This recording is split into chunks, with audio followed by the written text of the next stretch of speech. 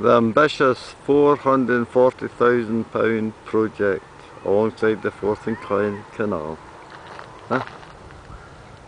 All they were asked to do was cut the grass.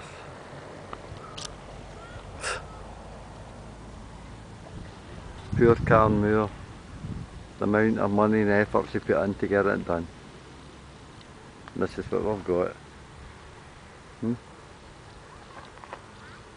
Total wilderness.